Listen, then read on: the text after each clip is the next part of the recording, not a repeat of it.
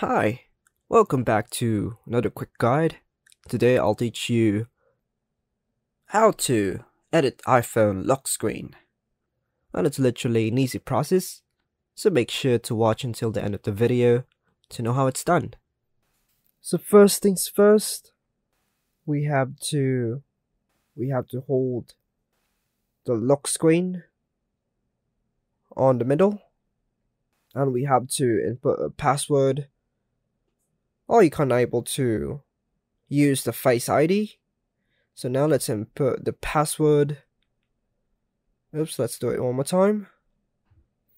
Now once it's open we can able to choose our prepared background by swiping to the left. Now we have to go to the most left. Let's tap on these plus button.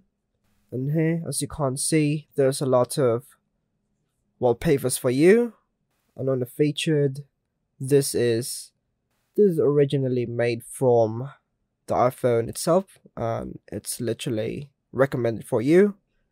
And also the suggested photos your great capture. And now once we choose this wallpaper and once we tap on this time we can able to edit the font and also we can make it even bigger when we move this circle to the right side.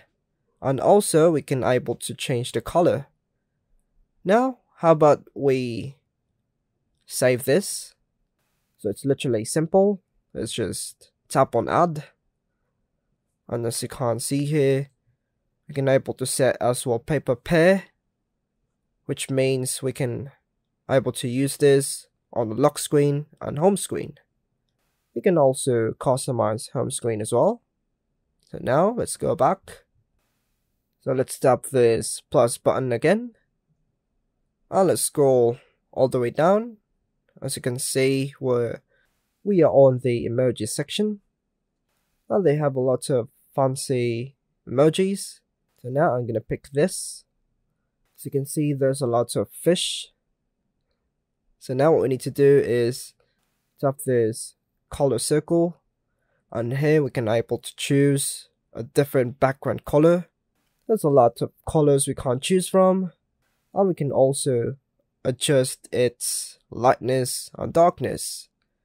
So now we can able to change this.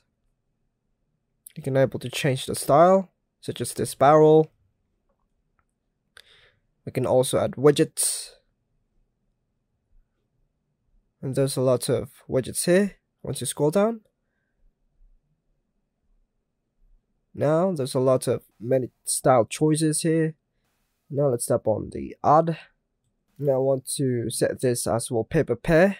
This is how it looks like on the lock screen and this is what it looks like in the home screen.